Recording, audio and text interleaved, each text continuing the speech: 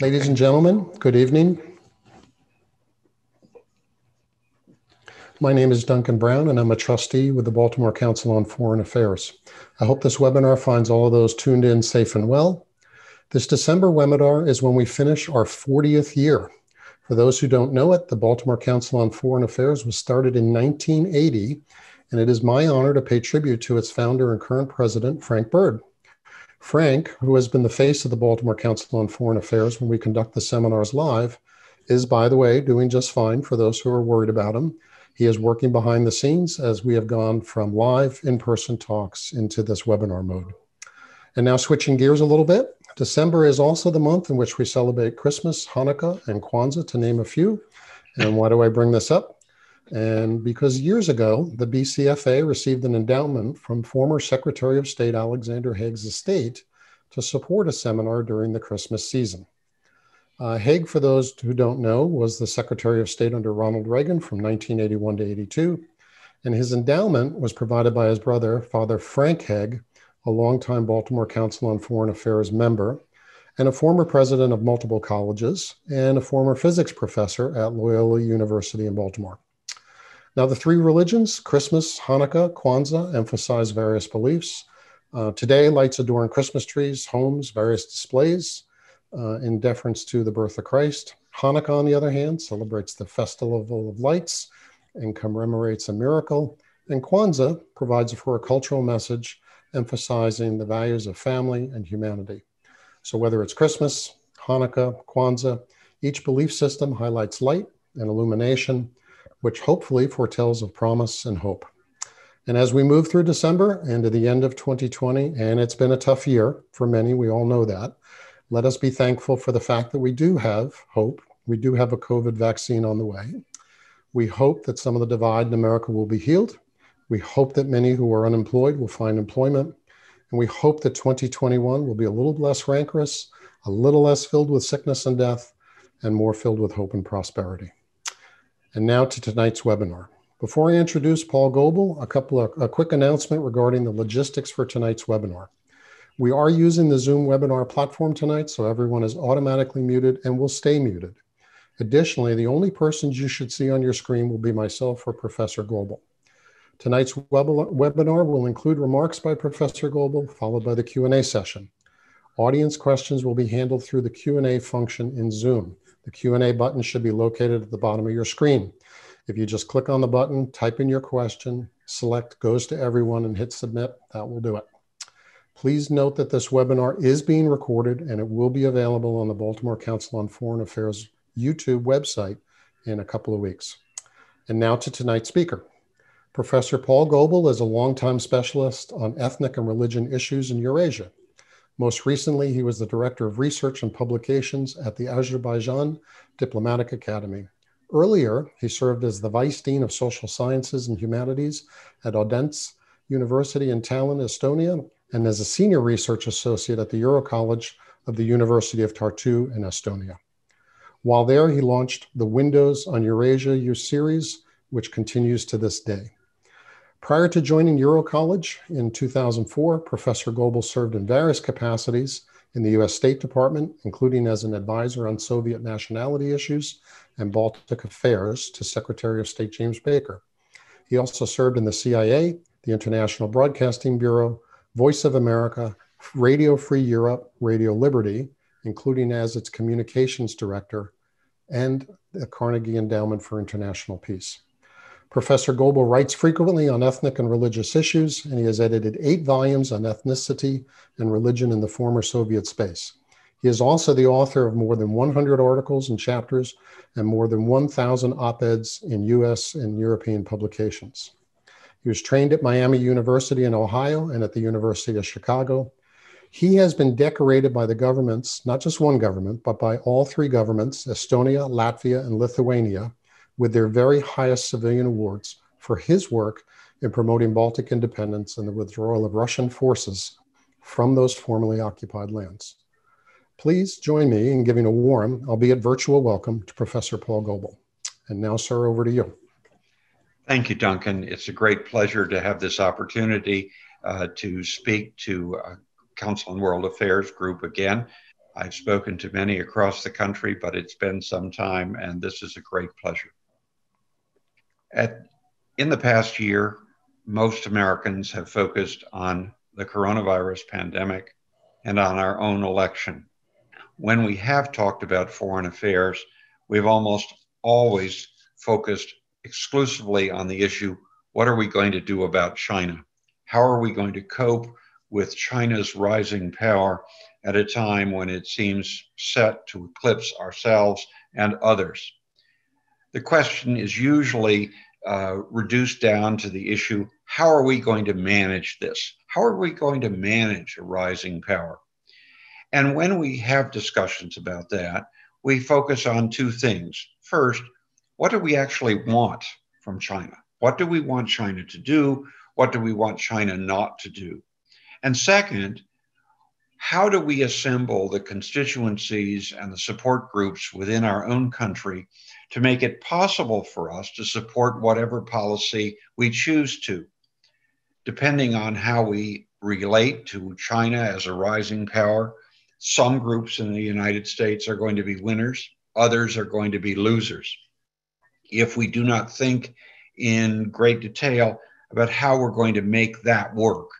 Uh, no policy that we choose to adopt will last long enough to make the differences that we may want. Talking about how we cope with a rising power is not something new. 75 years ago, we were talking, we were asking the same question about how to cope with the rising power of the Soviet Union. This was before it became a nuclear power, but it had the largest army in the world.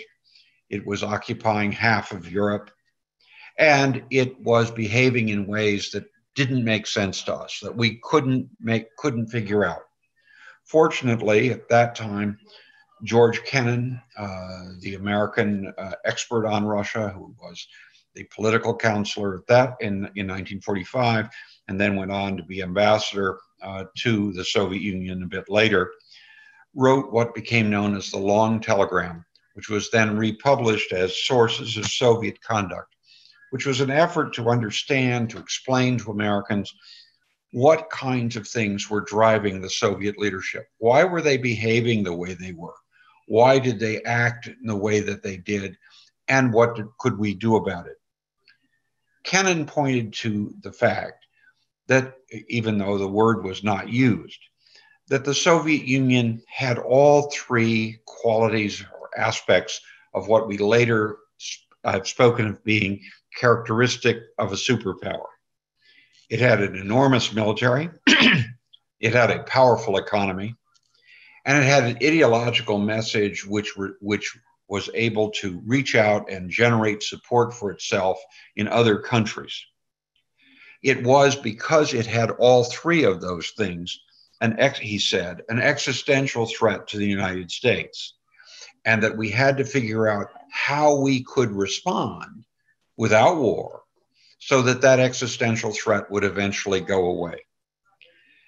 When Kennan talked about that, he talked also about the need to focus on how we would put together a constituency in the United States that would support a long term disciplined campaign which for containment the idea of containing the soviet union until its internal con- contradictions would cause this that system and that country to collapse.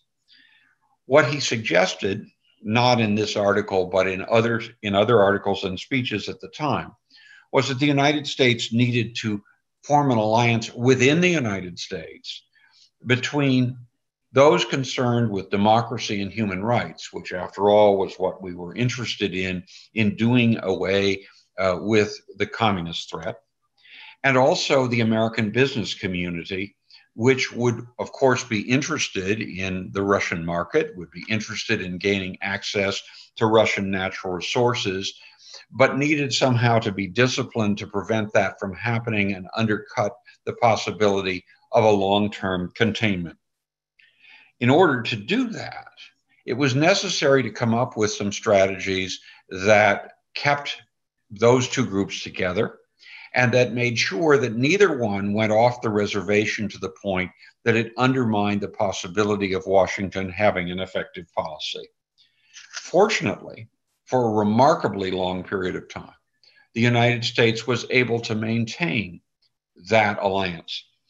That was, it was largely driven by the fact that people in the human rights community, people concerned about democracy, were encouraged, were told to understand that Russia, which had never been a democracy, that Russia had no democratic or free market tradition. There was a brief period at the end of the 19th and early 20th century when it looked like it might develop in that direction, but it didn't last very long. How are they going to go from sort of zero up to what we hoped for? That was going to take time, and the human rights democracy community was encouraged to think in those terms.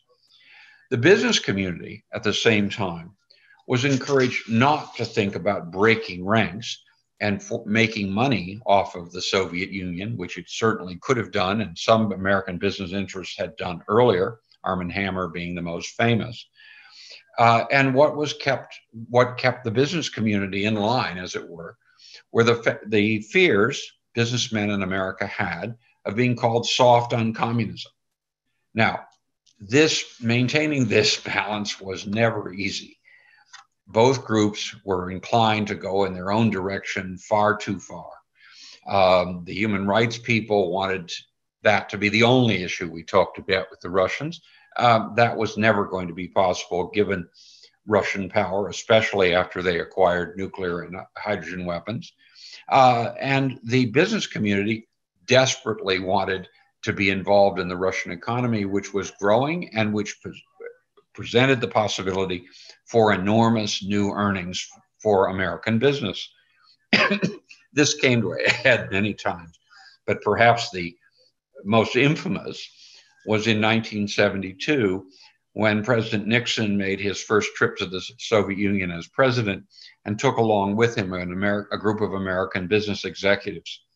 While there, there was a discussion of the construction of a pipeline out of the Soviet Union into Eastern Europe.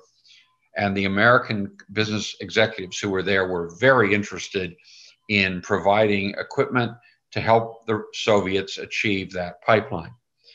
The human rights types dissented mightily and pointed out that if the American business community sold um, sold this kind of equipment to the Russians, they might make profit, but they would be violating fundamental American values because the people who would be operating uh, the American equipment would be under American under American law slaves.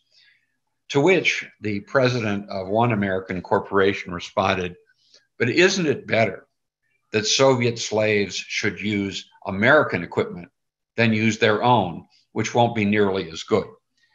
The sale never happened, but that kind of pressure existed, and that kind of tension was something in the United States uh, that we had to live with and we had to manage, both to keep the pressure up on the Soviet Union and also uh, to avoid things sliding into a confrontation war, which neither side was going to be able to win in a nuclear age.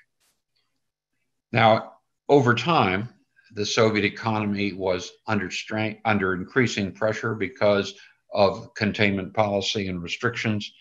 The system was a, an aging leadership that was increasingly weak, and it began to die. It began to fall apart. That was highlighted by Mikhail Gorbachev's Perestroika and Glasnost program. And during his first visit to Washington, uh, he brought along with him Georgy Arbatov, who was the head of the USA and Canada Institute in Moscow, and a famous, the probably the most prominent Americanist in the uh, Soviet hierarchy. Arbatov gave a press conference uh, in which he said something which I think we should never forget. He said that Mik- Mikhail Gorbachev was going to do something far more horrible to the United States, far more threatening than any of his Soviet predecessors. He was going to take away America's enemy. And without an enemy, Arbatov said, the United States was going to find it very, very difficult to function. it's probably the case that Arbatov did not know just how far Gorbachev was going to go in taking away an enemy, destroying not only the communist system, but the USSR as a territorial entity. But he certainly was onto something important because with the demise of the Soviet Union, the United States turned away from paying attention to Russia and indeed paying attention to much of the world for a decade we accepted the idea propounded by Francis Fukuyama that we were at the end of history, that the demise of the communist system in Europe uh, meant that democracy and free markets were inevitable. They would always be on the, uh, on the rise. That the United States was the champion of these things, but it really didn't need ver- to do very much to make sure that they happened the Americans were quite prepared to accept this as, as a, a blessing of what they had done and to declare that this, the Russian Federation, the successor state of about half of the USSR, was already a democracy. And the only real issue was to make sure that the economy got managed properly. We didn't pay attention to what was going on in Russia in the 1990s. And because we didn't, we were totally unprepared for the recovery of Russia as it as it uh, has taken place under uh, Vladimir Putin and the threat that that government poses not only to our friends in Europe and elsewhere, but to ourselves. Indeed, in many ways, the end of the Cold War, the demise of the Soviet Union, and what happened in the 1990s created a situation in Russia which poses particular challenges to the United States, which we are incredibly ill equipped to deal with. And I want to talk about those tonight. We didn't pay attention to what was going on, and we ignored a fundamental reality the destruction, the collapse of the Soviet Union, the collapse of the communist system in 1991 in the USSR was a shock that few countries and few peoples have ever gone through. It led to chaos, it led to disorder, it led to a situation in which gov- the government in Moscow no longer had effective control over a whole bunch of things. Uh, some people had doubts about how much control it had over the military, but it certainly l- lost control over the economy. And a situation arose in which through a variety of criminal means, a mafia like organization privatized into its own hands most of the economic wealth that had been developed by uh, the Soviet Union. Russia was not growing, it was contracting. The Russian state was falling apart. But what was happening was that a group of, of Russians, using the power of the police and criminal activity more generally, uh, were able to put this money into their own hands. And because there was nothing to invest it in in Russia, because Russia, the Russian economy was collapsing, they began moving this money abroad. Between 1991 and 2000, something over a trillion, a trillion US dollars left Russia and went into major banks, businesses, uh, and individual pockets, it has to be said, in the West. That changed the world. There was no longer a sense that cooperating with Russia meant you were soft on communism. There was no communism to be soft on. And there was a situation in which the, uh, the role of enormous funds gained illicitly and then exported became the major force in Russian foreign policy. And we'll come back to that. Tonight, I'd like to go through a little bit, in a little bit more detail, uh, what this process involves. And to do so, I would like to propose a very, uh, in a very modest way, some ideas about what the sources of post Soviet Russian conduct are because I think you have to understand three fundamental realities that most people don't want to admit because admitting these problems forces us to understand that we have an enormous obligation because we face challenges we don't know quite how to handle. First, with respect to the Russian Federation, with respect to the government in Moscow, we are dealing with a declining power. We're very good about talking about how we can cope, how we can manage a rising power. We're much less good about talking about how we deal with a power that's declining. Because a declining power is invariably more dangerous than a rising power. Because like a dying star it can flare up into a supernova and destroy everything around it.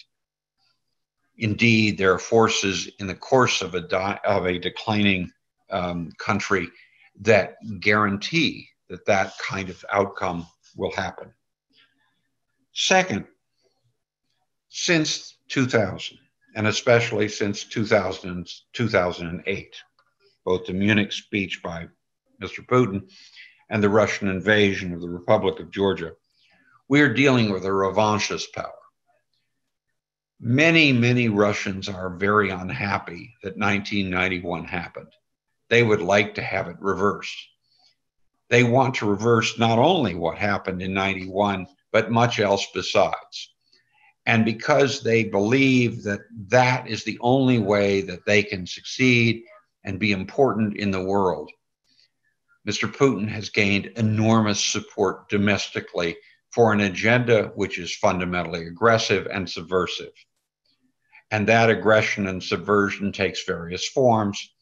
It is many of them new to us, but are nonetheless as serious as anything the Soviets did, and indeed, in many cases, more serious, not only because we don't know, we don't recognize them, but because we don't have the defense mechanisms in place that will prevent them from succeeding. And third, and this is perhaps the most important thing to know at, at general term, with Mr. Putin, we're dealing with a hybrid approach. If there is one word that should be associated with Vladimir Vladimirovich, it is hybrid. That usually is taken to mean the combination of things. But it is not just a com- combined approach, but it is it involves using the strengths of an opponent against the opponent. Mr. Putin is, as many of you know, a martial arts master, black belt. He's grew up in that world, and his skill is in has as a politician, as a political leader, has been using the strengths of his opponents against them. That, se- that may seem odd to a country that is used to being sufficiently strong that we don't have to worry about that. But Mr. Putin has understood that when a country is very strong, but is incautious in thinking about the, its vulnerabilities, that others can make use of those vulnerabilities to achieve what they want. And certainly uh, that has uh, that has driven what we have seen in his dealings with everyone in the world and with ourselves.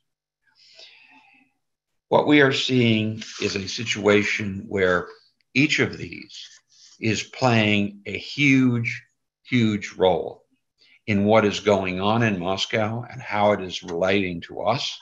And it is something I think we need to appreciate and the rest of my time, I would like to devote to examining each of them in a little more detail, and then end by posing three questions, which I hope all of us can ask about what do we do about this.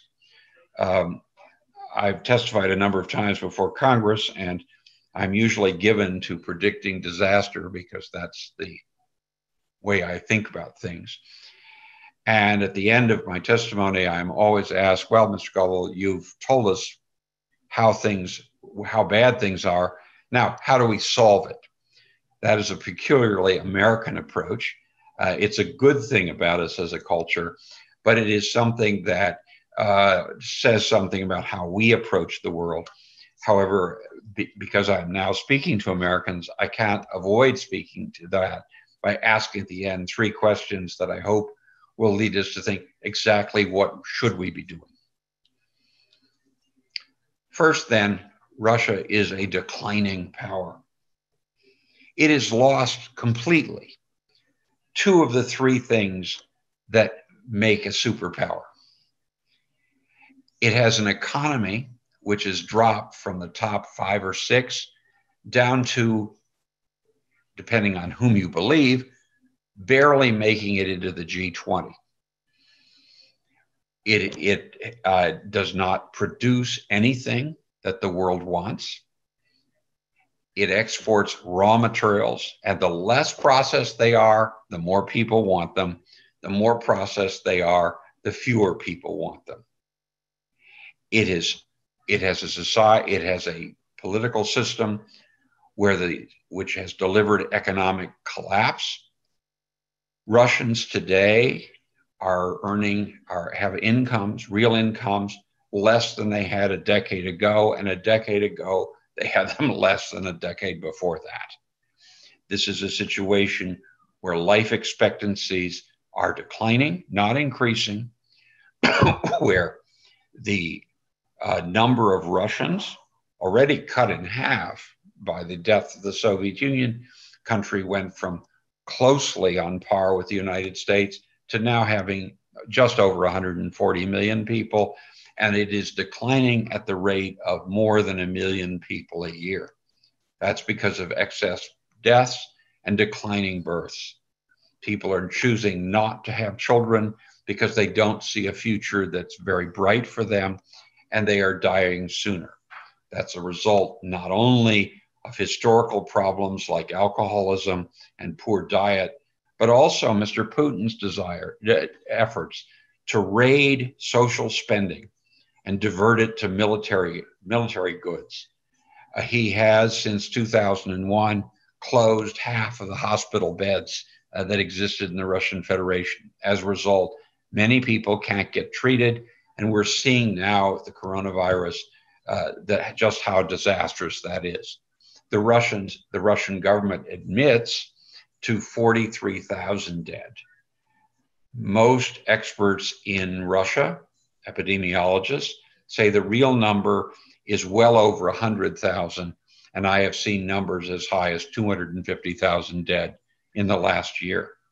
Excess deaths caused by the coronavirus. Uh, the Russian government won't admit to that, but we're talking about a country that's in real trouble. We've got um, it is it has lost its control over most of the neighborhood. Uh, it has it, it, it doesn't its military strength is it's it, excuse me uh, this ideological image that it had of itself as the wave of the future no longer attracts people in addition, the economic to the economic things, we have a situation where the country really lacks the ability to hold itself together. Um, most Americans mirror image whenever they talk about another country. We have we go to the moon, they go to the moon. We have satellites, they go, have satellites. We have nuclear weapons, they have nuclear weapons. We have interstate highways, they must have interstate highways there are fewer miles of paved road in the Russian Federation than there are in my home state of Virginia. The largest country on earth doesn't build highways, and last year it built less than less than a thousand kilometers of them, new ones. Almost all of those were right around the city of Moscow. The rest of the country is disconnected.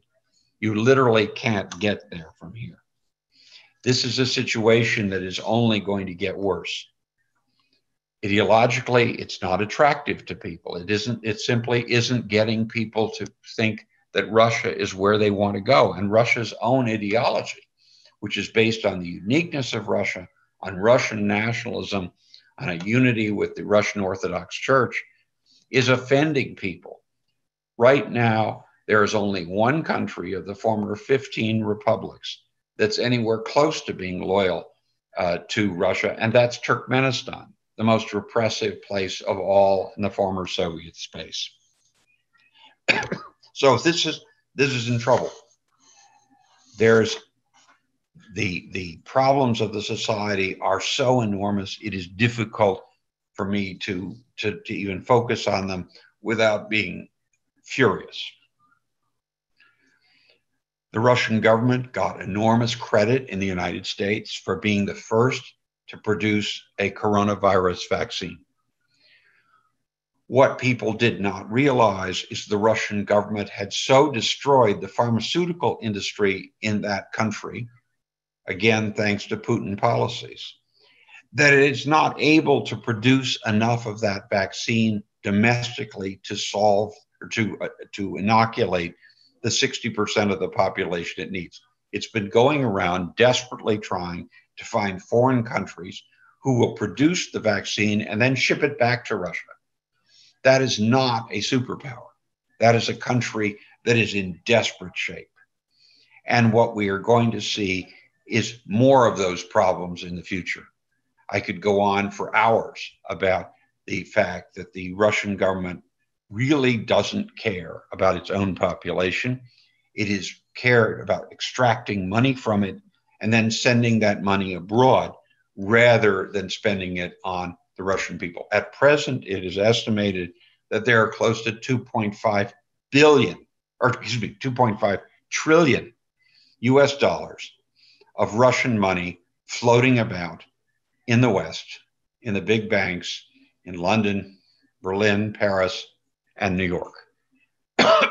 Again, if you have a country that is functioning, you invest in yourself. If you don't, you put the money elsewhere. Uh, that if that were the end of it, that would be fine, but we'll come back and see that's not the end of it at all. The one thing that gives Russia claims a claim to being still taken seriously as a superpower is that it has the second largest arsenal, arsenal of nuclear weapons. Yes, that's true. And a single nuclear weapon can, as they say, ruin your whole day. It is, Russia deserves to be taken seriously because it has nuclear weapons. But, and this is the important thing, its military is a shambles. Most recently, the Armenians lost into the Azerbaijanis in Karabakh, a war which some of you may have read about or seen on reports on television uh, several weeks ago, precisely because the Armenians were using Russian weapons and the Azerbaijanis were using Israeli and Turkish weapons. The Russians got handed a black eye. Their own weapons were not capable of standing up to the weapons that the Azerbaijanis were bringing in from Israel and Turkey. As a result, it's Russia is losing arms sales abroad, and I think that's a big uh, uh, that's going to be a big problem in the future. Second, its navy, including aircraft carriers, which it has one, and icebreakers, which it has more of, have become something of a joke the Russian government has one aircraft carrier, which smokes so badly that it looks like it's burning when it's floating by. The Russian government decided to address that only to discover that the money they were sending to put them to, to correct the problem in the Kuznetsov, the aircraft carrier, was going into London banks of oligarchs rather than into fixing that ship up. And the air, the icebreakers, which have gotten a great deal of attention in recent months uh, because of the warming in the Arctic and the possible northern sea route, are not coming online as fast as they were supposed to. The next one is due in 2027, not this year or next. And the one that did put to sea earlier this year, only two of the three engines worked, and it couldn't break the thick ice that it was supposed to. That doesn't mean that Russian icebreakers aren't going to be effective at some point, but it does mean that the military ability to project power this way is more limited. The Russian military is a shadow of its former self. Uh, it had 5 million men at the end of Soviet times. It now has under a million. It has more generals, though, uh, top heavy, uh, unfortunately for them And there are real problems about what that military is for because so much of its function seems to be devoted uh, to uh, domestic control. If it did not have nuclear weapons, if Russia were a nuclear free state, Russia would be largely ignored. It has an economy that doesn't matter. It has an, a, national ideology which doesn't attract people, but rather pushes them away. But it does have nukes. Nukes give you a seat at the table, and they guarantee that you won't be attacked. We've sent that message to the point that any number of unfortunate countries are desperately trying to get nuclear weapons, and will get them, I believe, um, because once you have one, attacking you attacking you is not such a good idea. It explains what the North Koreans are doing, and it explains what I believe the Iranians will be able to do uh, within finite time. Everyone pays attention to North Korea because it has nuclear weapons. If it did not have nuclear weapons, no one would be paying, paying attention.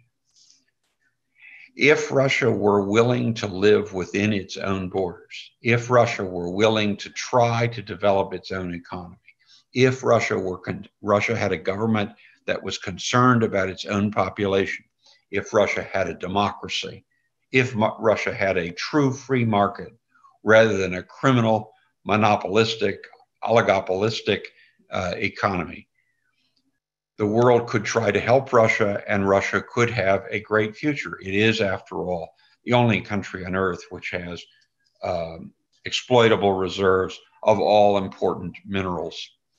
And it is something it could be an incredible it could be an incredible place.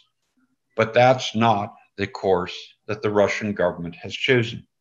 The russian government instead has chosen revanchism it's not just that vladimir putin says that the end of the soviet union was the greatest geopolitical uh, uh, calamity of the 20th century is that mr putin has consistently over the last 20 years sought to revise the three key settlements of the 20th century, which the United States was part of, that were intended to put in place an international order that would prevent small conflicts from growing into large ones and open the way to more freedom and democracy for a larger number of people than any in, his, in history. Mr. Putin has is trying desperately to overturn the settlement of 1919 which called for a world of nation states in place of empires. Mr. Putin celebrates empire, and empires are inherently authoritarian, and he is an authoritarian first, last, and always. Second, Mr. Putin has been trying to overturn the settlement of 1945, which stressed that the citizenship of people was what mattered, not their ethnicity. Mr. Putin believes that ethnic Russians and Russian speakers have special rights or should have special rights wherever they are, and that the Russian government can intervene on their behalf. That explains the invasion and the uh, Anschluss of Crimea and part of the Donbass in, in Ukraine. And of course, he is first and foremost committed to the reversal of the settlement of 1991, the end of the Soviet bloc and the USSR. He is he wants a, a Russian draw regard across the entire area, and he is quite prepared to use military force against his neighbors.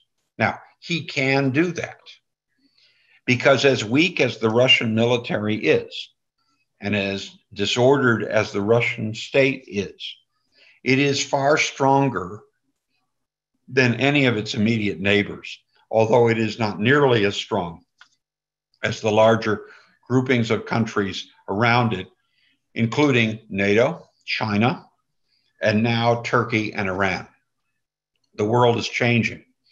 As a result of the Karabakh uh, declaration of November 10th, uh, there are now Turkish troops on the territory of the former Soviet space, something that Russia the Russian government said would never be allowed.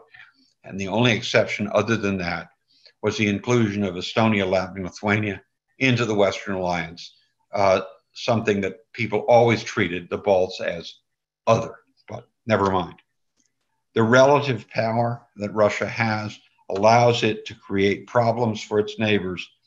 And as it succeeds in creating problems for those, sparking refugee flows, it can uh, create problems for ourselves as well.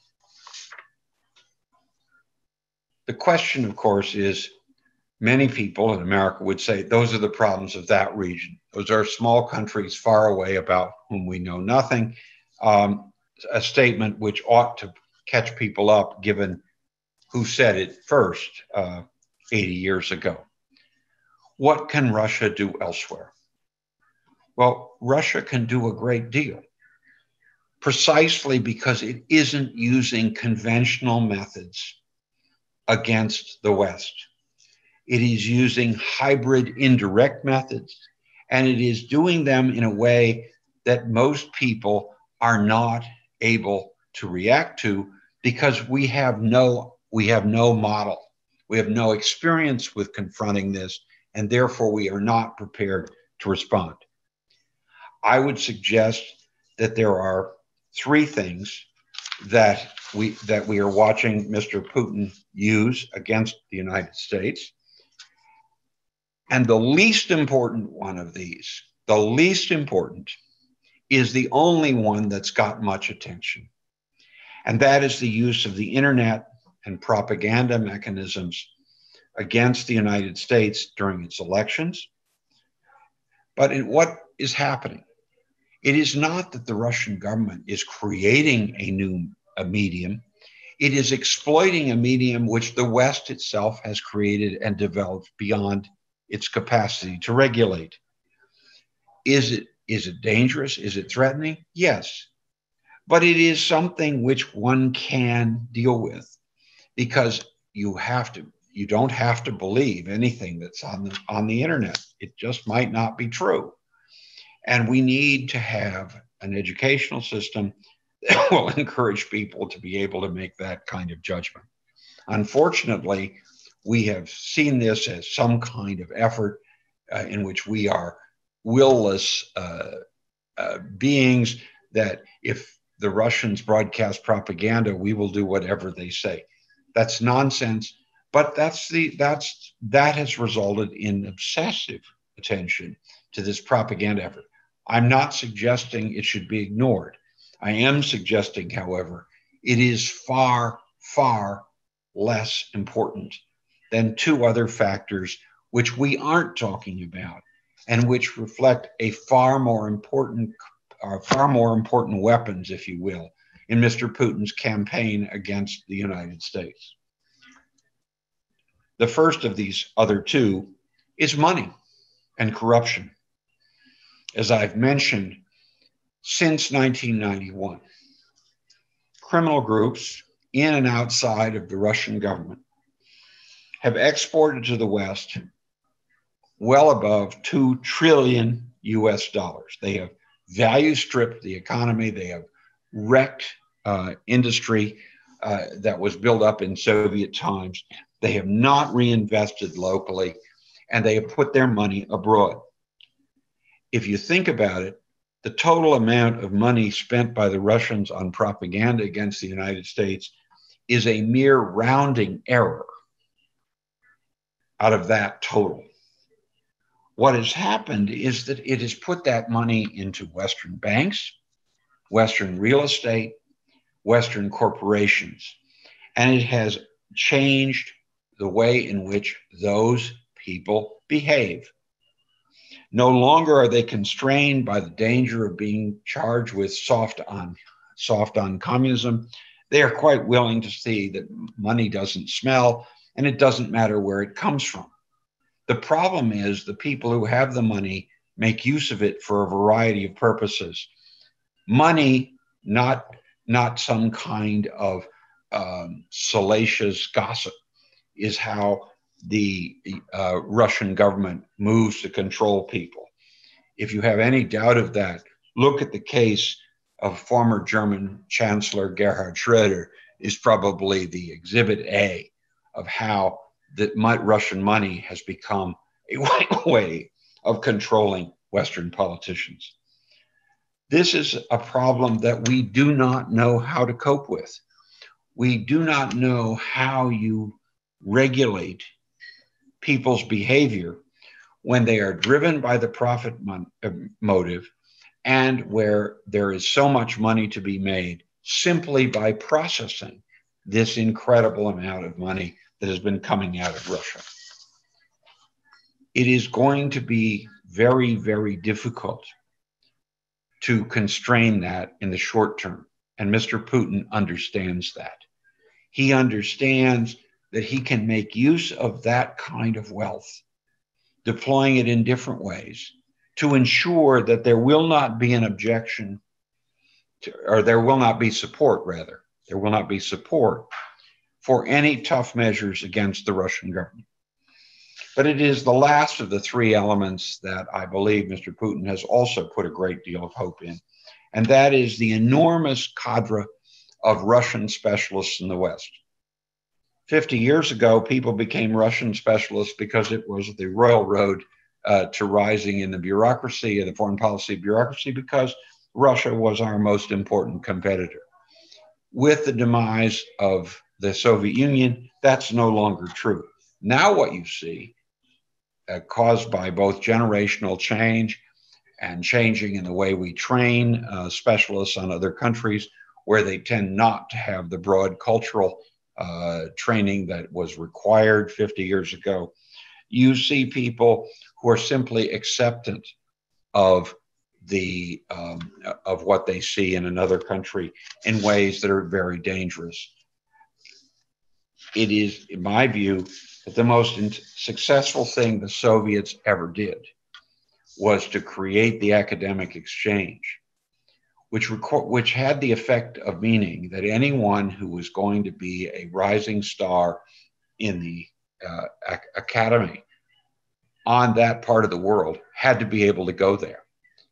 And if you had to be able to go there, you had to get permission to go there. And if you had to get permission to go there, you had to uh, take a position that was acceptable in many cases to the Russian government. I don't know how many people have told me over the years, I'd love to write on that, but if I do, I won't be able to go back.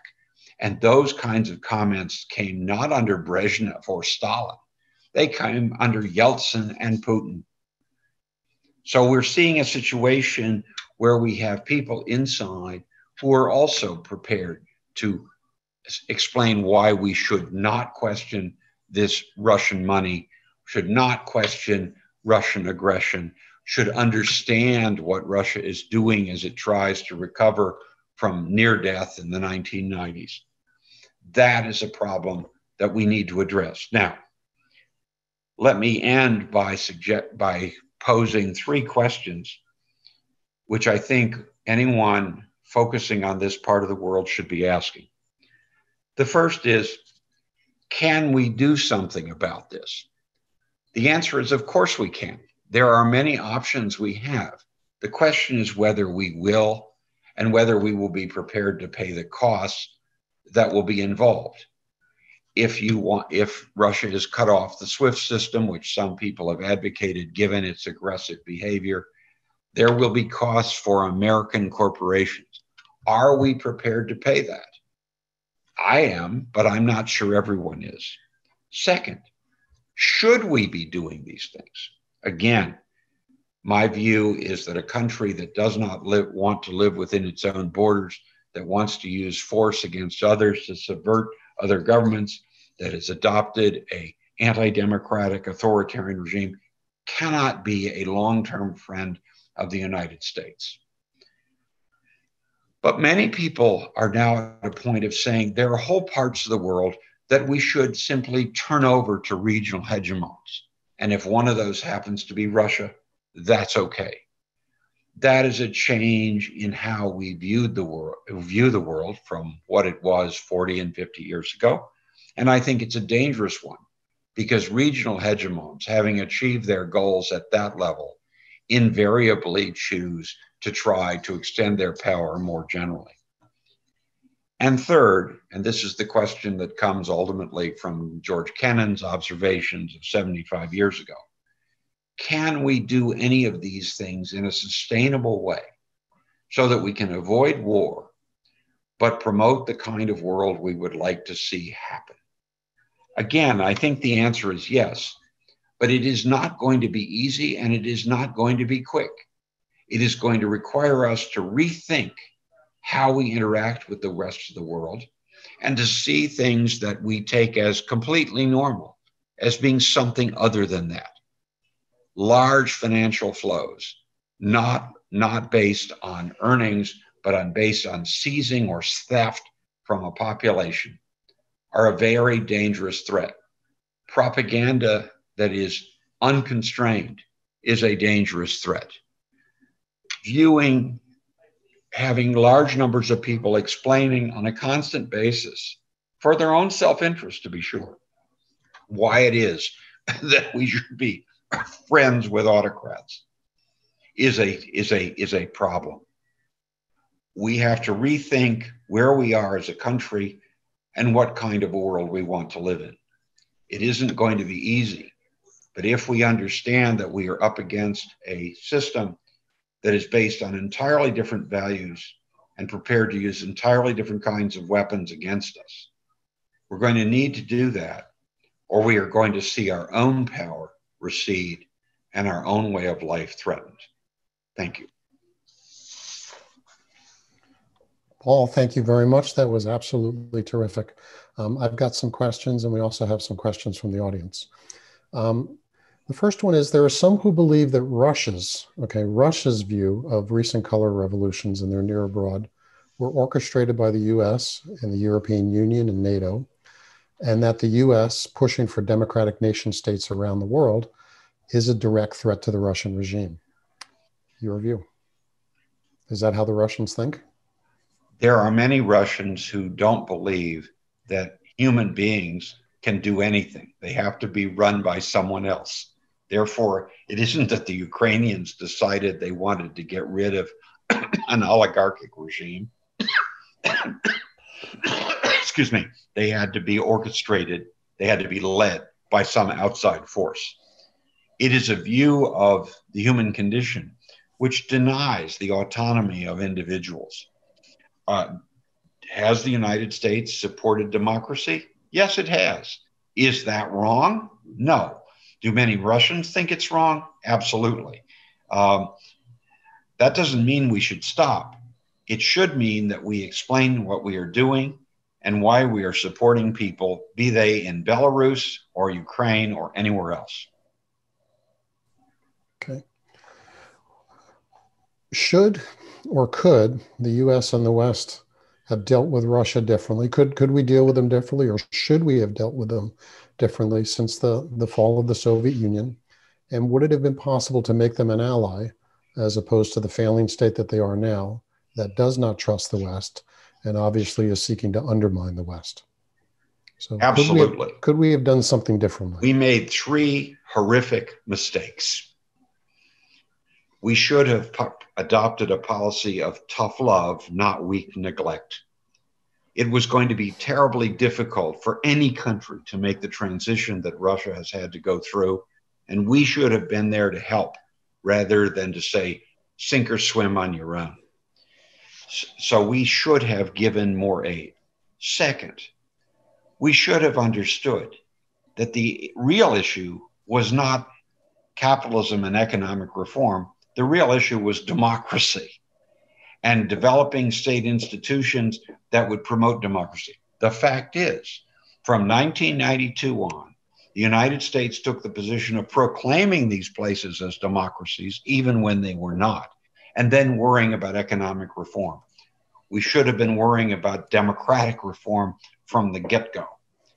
Third, there were so many small things that could have been done to show that the United States wanted to integrate Russia into the world community, that it wanted to help the Russian people. We chose not to do those.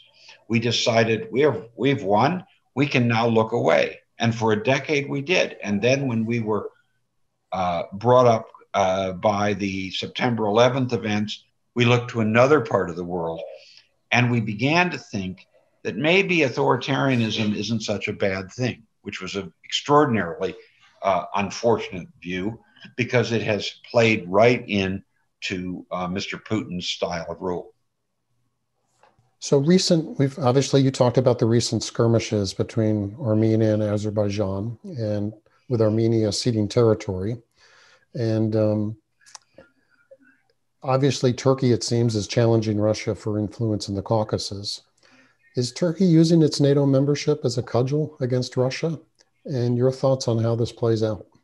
Well, I would go. I would say that what happened between Azerbaijan and Armenia was more than a skirmish. It was an out-and-out war, which resulted, which allowed Azerbaijan to reconquer uh, about 65 to 70 percent of the territory that Armenia had occupied in the mid 90s.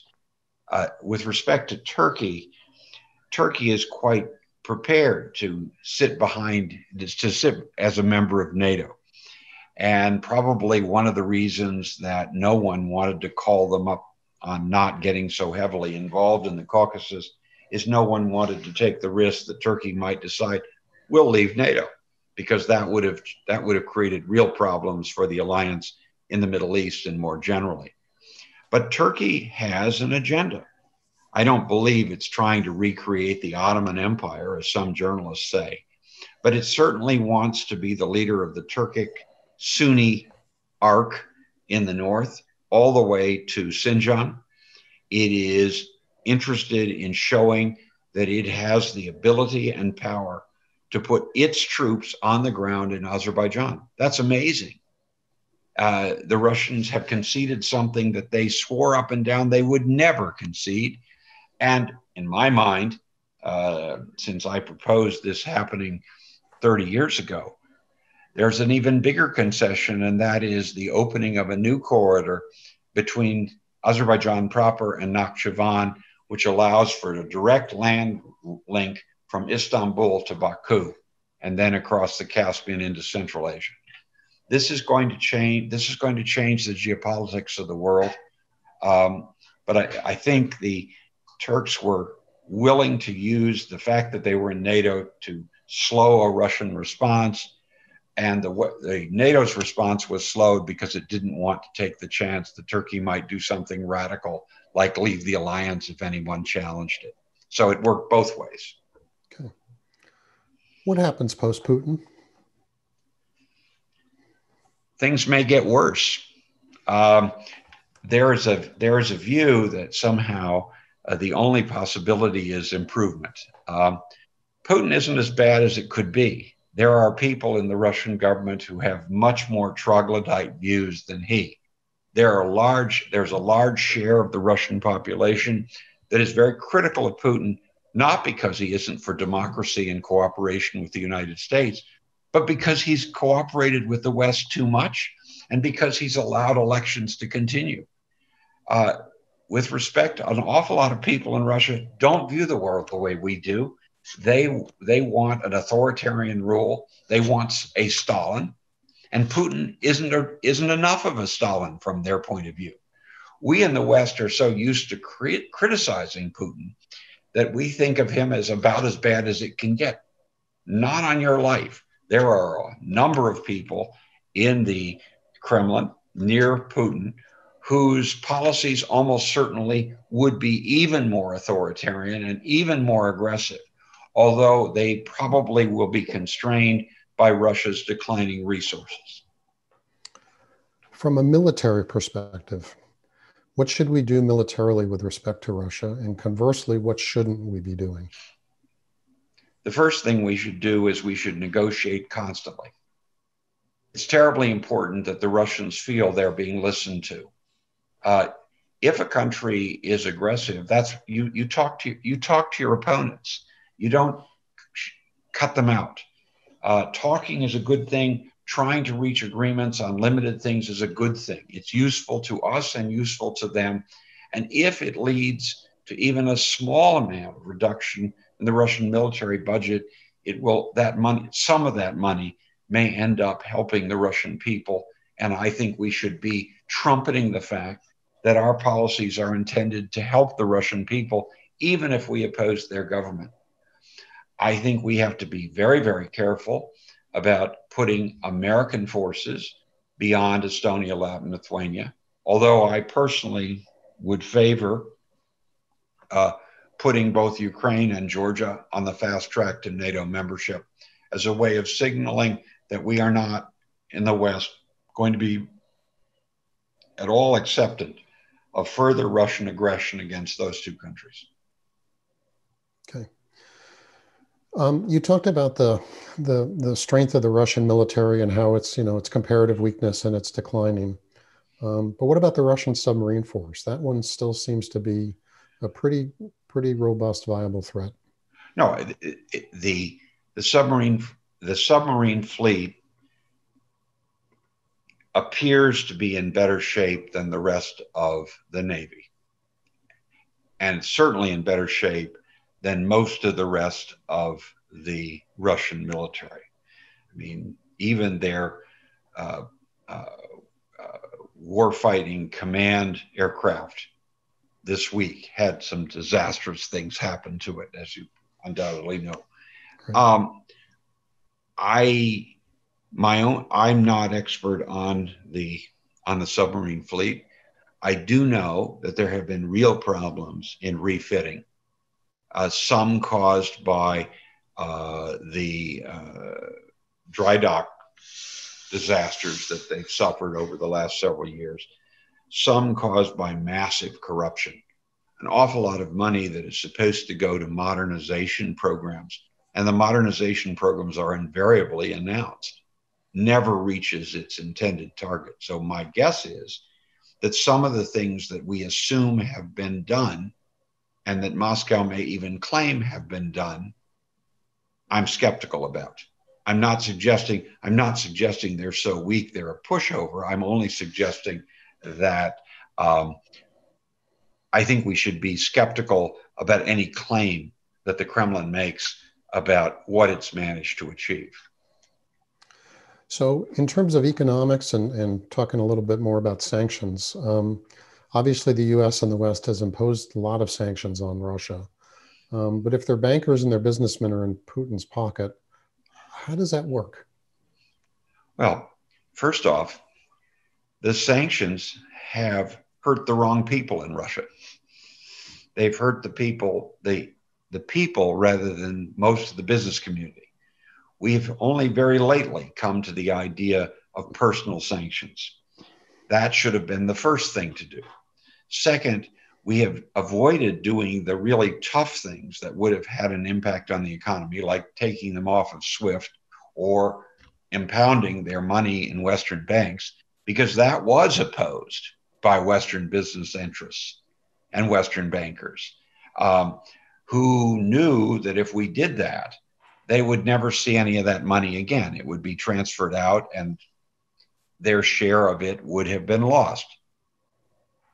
I would like us to adopt a policy designed to be helpful to the Russian people and to be seen as helpful to the Russian people, but would be directed at the Russian at the Kremlin elite, including Mr. Putin, who are conducting policies that are anti Russian as well as anti Western. And I don't think, I think unfortunately, we've adopted up to now a more blunderbuss approach, which has hurt the Russian people and allowed Putin to argue that the West hates Russians and it's willing to make them suffer because I promise you, none of the sanctions that have been imposed so far have had dramatic impact on the Russian oligarchs around Putin, all of whom have seen their wealth increase, all of whom have continued to travel abroad. The personal sanctions may work eventually, but they've only just started. Okay, we've we've got a lot of folks out there, um, partially American educated, Russian, Eastern European folks who back Putin and most of his actions. Um, how would you talk to them? Uh, how would you open their eyes? How would you try and change their minds about what's really going on? What would you say to them? Well, first off, invading countries, crossing international borders without permission with military force is generally something that people don't, oppo- don't approve. Uh, the annexation, the Anschluss of Crimea, was in violation of international law, first, last, and always. The invasion of Georgia was a violation of international law. The uh, behavior of the Russian government with respect to its own population is has been decried as repressive by almost every international human rights organization one cares to name. I think those are legitimate criticisms. And I find I'm I'm certainly not in favor of a crusade against uh, certainly against Russians.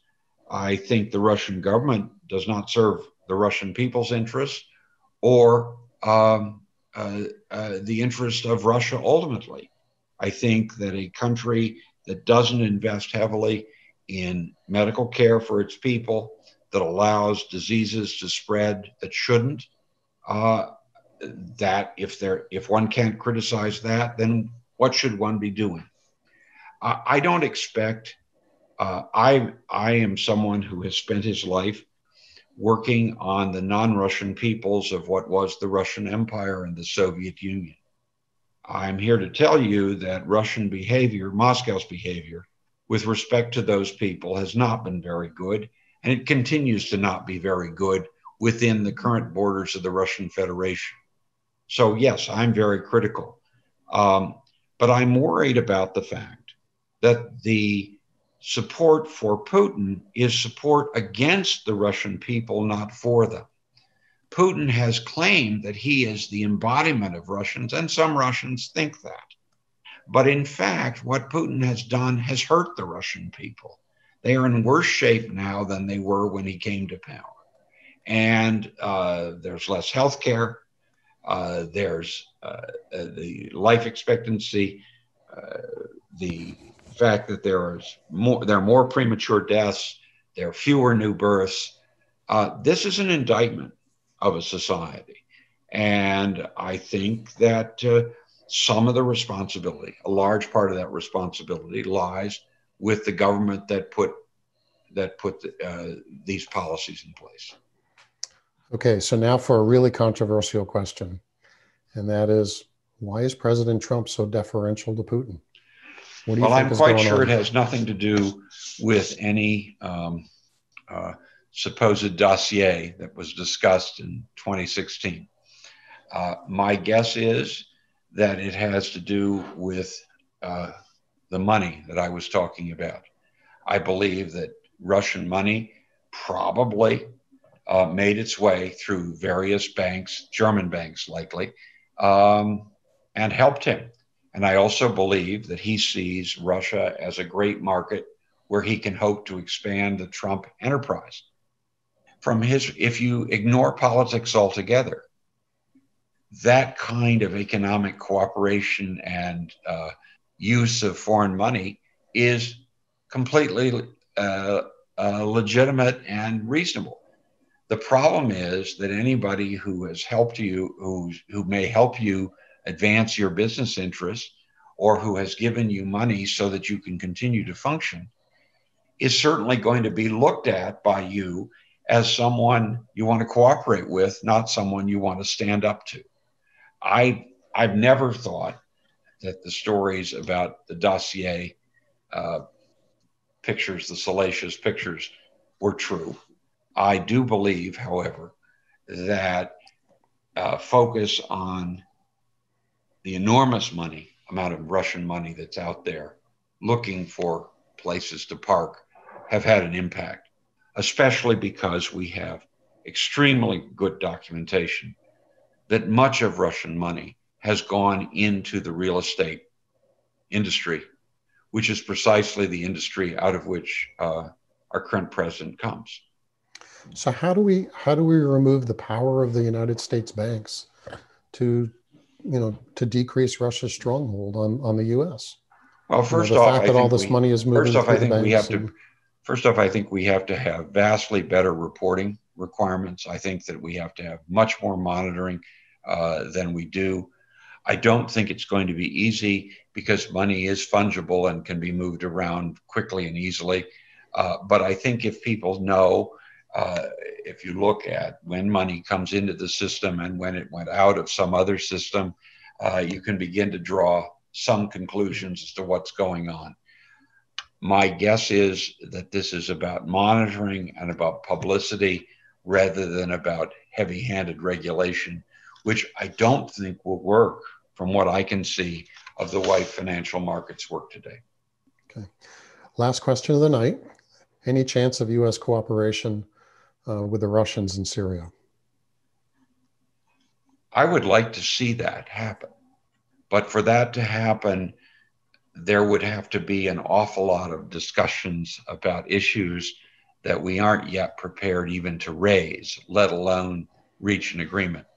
Uh, it is not wrong that the Russians and ourselves do not have the same view on things. It is a mistake, however, if we don't talk about where our differences are so there's no confusion. My greatest concern is that by not talking, by not focusing on what Russians are thinking and saying, we may misread what they're about, and then they will misread us, and we will get an escalation. I would be, I would, I'm in favor, first, last, and always, in talking and in finding out exactly what they're thinking and in paying close attention. Uh, we should, I would, if I were had five minutes of uh, President-elect Biden's term uh, time, I would urge him to restart the FBIS JPRS system of translating 60 to 80 pages of Russian materials every day for reading in the US government and the academic community so that people would be aware of what's being said and going on. It's what I try to do in a much more limited, uh, uh, homespun way with my Windows series uh, because I think we need to know what they're thinking and what they're saying. Okay. Paul, thank you very much. That was terrific, um, as always. Uh, for the folks online, just so you know, our next webinar, we're taking a little bit of a break for the holiday season. Uh, we'll be back online on Wednesday, January 13th. Our speaker then will be Mead Treadwell. He's the former lieutenant of the governor of Alaska, and he's going to talk on what we call the battle for the Arctic. Um, and so until next time, take care, have a very happy holiday season, and be safe and be healthy. And have a good night. Paul, again, thank you. Thank you.